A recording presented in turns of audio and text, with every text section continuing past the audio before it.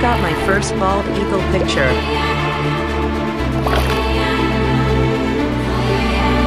Seen a huge bald eagle perched up right in that tree. So I went, I was fishing and I went all the way about a quarter mile just to go get my camera